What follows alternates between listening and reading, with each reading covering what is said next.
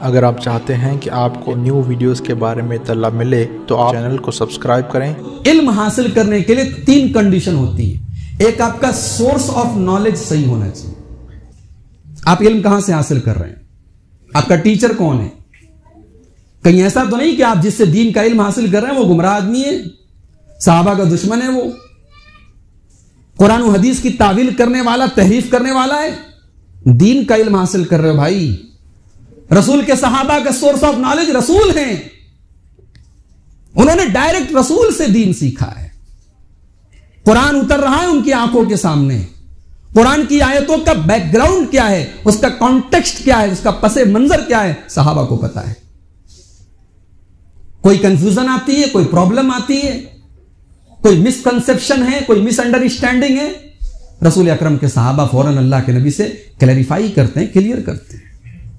दूसरी शर्त आपका प्रोसेस ऑफ़ नॉलेज सही होना चाहिए। भाई मेडिकल की किताबें आप पढ़ लें डॉक्टर नहीं, नहीं बन जाएँगे आप। एक आदमी इंटरनेट पर तमाम पीडीएफ उठा ले मेडिकल साइंस की और सब पढ़ के अगले दिन क्लिनिक खोल ले अपने आप को वो एमबीबीएस और एमडी लिखने लगे तो भाई गवर्नमेंट की नज़र में तो झोला छाप माना जाएगा अरेस्ट हो जाएगा गिरफ़्तार हो जाएगा वो।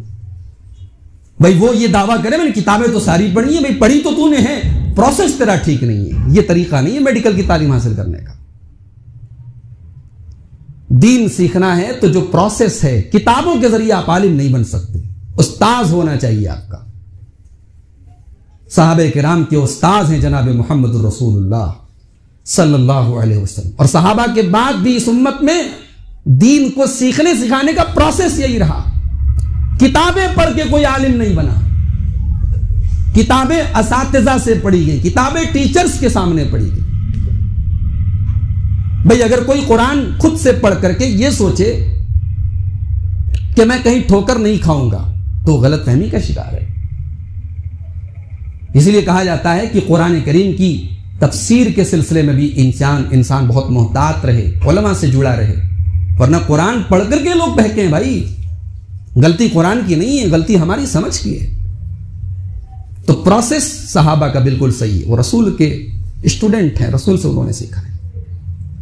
और तीसरी कंडीशन इल्म हासिल करने की, आपका रिज़ल्ट ऑफ़ नॉलेज कैसा है? पढ़ लिया आपने, सीख लिया आपने, अमल नहीं है आपका।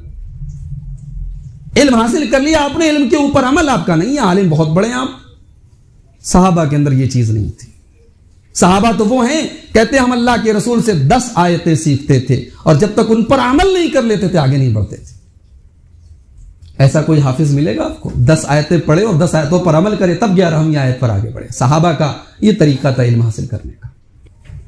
रसूल अक्रम ने अपने दामाद हज़रत अली को और अपनी बेटी हज़रत फातिमा को एक तस्वीर सिखाई थी कि तुम दोनों जब रात में बिस्तर पर सोने लगो तो तैंतीस बार अल्हम्दुलिल्लाह, तैंतीस बार सुबहान अल्लाह और चौंतीस बार अल्लाह अकबर पढ़ के सोया करो। तुम्हें किसी खादिम की नौकर की ज़रूरत नहीं पड़ेगी। ये तस्वीर जो है तुम्हें बहुत सपोर्ट देगी, तुम्हें बहुत मदद करेगी। मुस्लद अहमद की रिवायत हज़रत अली कहते हैं, रसूल अकरम से जब से मैंने ये तस्वीर सुनी, उसके बाद मैंने रात में ये तस्वीर पढ़े बगैर मैं कभी नहीं सोया। रावी ने पूछा अली, आपकी ज़िंदगी में बड़ी खतरनाक रात आई थी, सिफीन की रात। अगले दिन लड़ाई होने वाली थी, सिफीन की लड़ाई। टेंशन में थे आप। मुसलमान की मुसलमान के खिलाफ जंग हो रही थी, ज़ाहिर है। आपके लिए बड़ा एक नाजुक मोड़ था। उस रात भी आप ये तस्वीर पढ़ के सोए थे। हज़रत अली रज़ी अल्लाह तु कहते हैं हाँ उस रात भी मैं ये तस्वीर पढ़ के सोया था। ये रसूल के साहबा है मेरे भाइयों।